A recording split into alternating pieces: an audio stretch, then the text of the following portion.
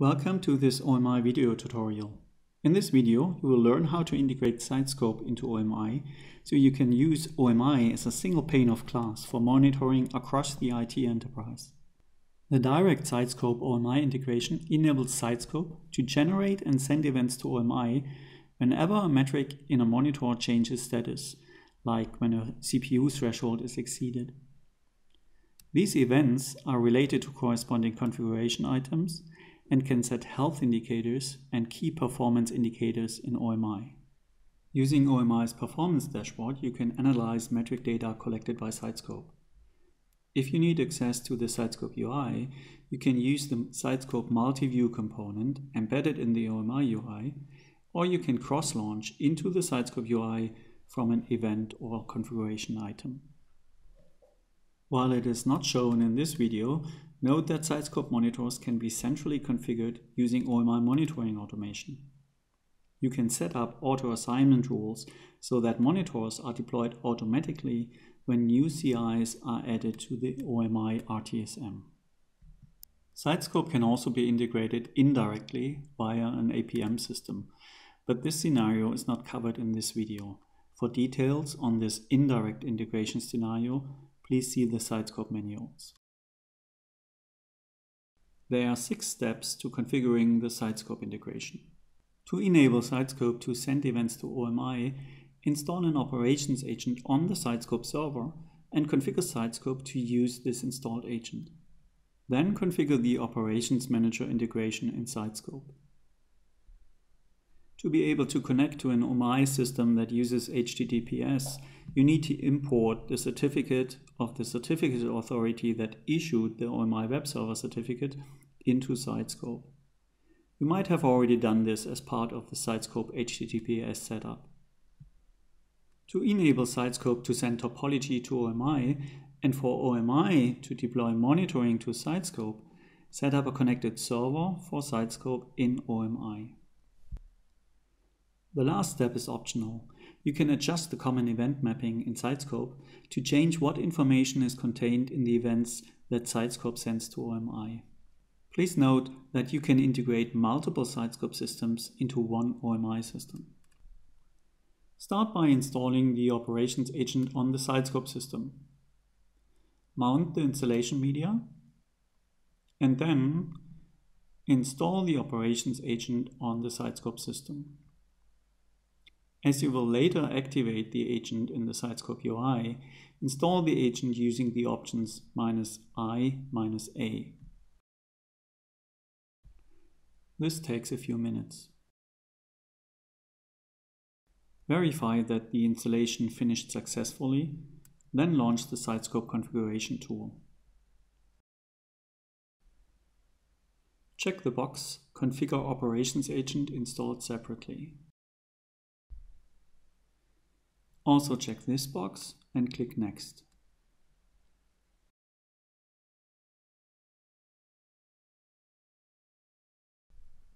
Then restart the Sitescope service as instructed so that Sitescope knows the environment variables set by the agent configuration in the preceding task.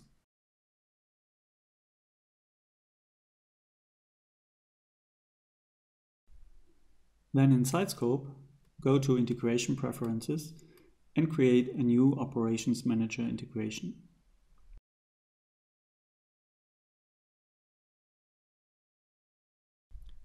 Specify the name of the OMI gateway server or load balancer that Sitescope will connect to. Unselect the last option and click Connect. This activates the agent and sends a certificate request to the OMI server. This takes several minutes. Check the result. The text tells you how to grant the certificate request on the OMI server using command line interfaces, but you don't have to log into the OMI server. You can also grant the request using the OMI UI. In OMI, to manage certificate requests, go to Administration, Setup and Maintenance, Certificate Requests. This page shows all your certificate requests and their state.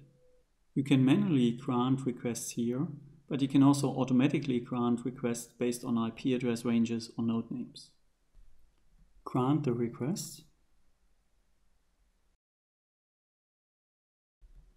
and return to Sitescope.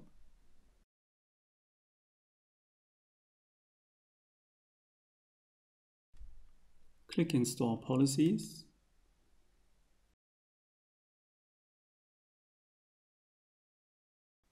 Check the result and close the window. Make sure to select the following settings. Enable sending events, connect directly to BSM, prefer events over metrics. Then click on Send Test Event.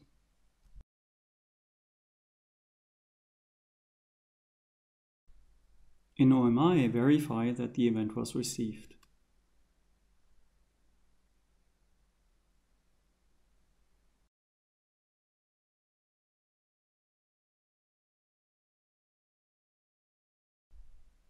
Then return to Sitescope and click OK to save the integration preferences. This completes the integration of Sitescope events into OMI.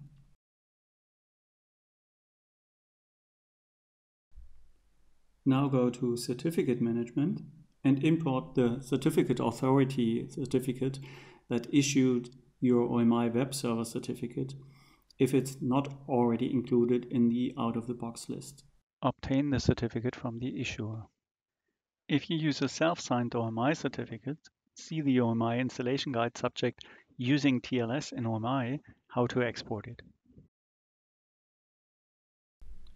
To enable Sitescope to send topology to OMI and for OMI to deploy monitoring to Sitescope, set up a connected server for Sitescope in OMI.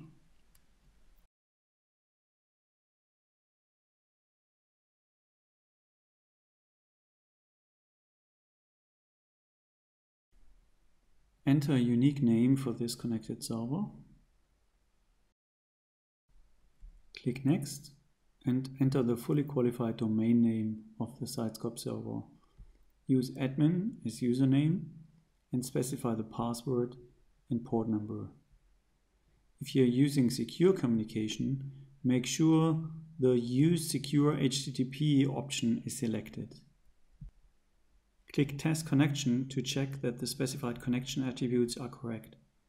If an error link is displayed, check the error message correct the connection information and retest the connection. Click Next. Under OMI credentials, specify the username and password of an OMI user. It is recommended that you use a dedicated integration user. Make sure that you set up such a user up front. This integration user does not need any special permissions. Specify proxy settings if needed, then click Finish.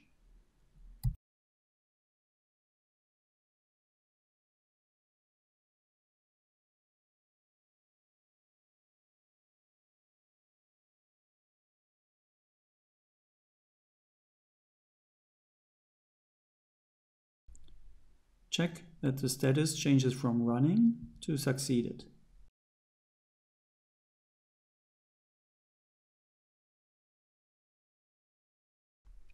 As a result, you will see a new BSM integration under Integration Preferences in Sitescope, which was created automatically.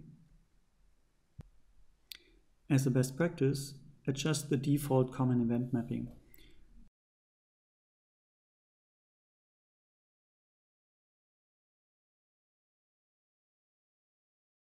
For example, add the monitor name and copy the more detailed information from the description field to the title field.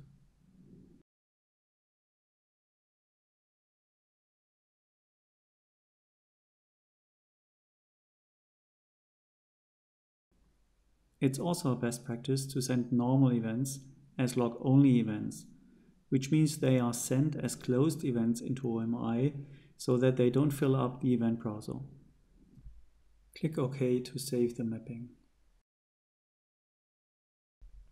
If you already created monitors before the integration, update their integration settings using global search and replace.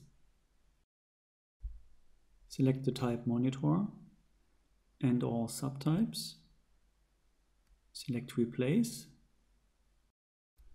Then under HP integration settings, select BSM service health affected by events. And also specify disable recording metrics. OMI does not process metrics and will just ignore them, but to avoid unnecessary network traffic, it's better not to send metrics. Complete the wizard.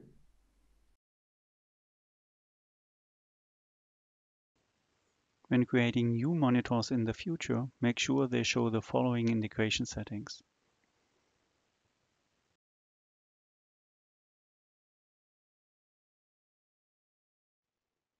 Disable recording metrics.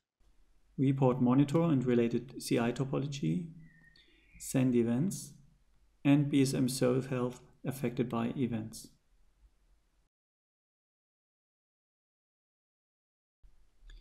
After a while, you will start seeing sitescope events like these in OMI that set health indicators, in this case memory load and CPU load, and KPI and CI status.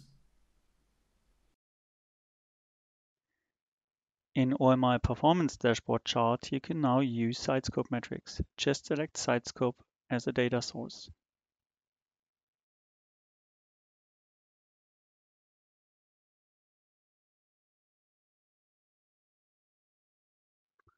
You can use a variety of chart types to build a dashboard like this.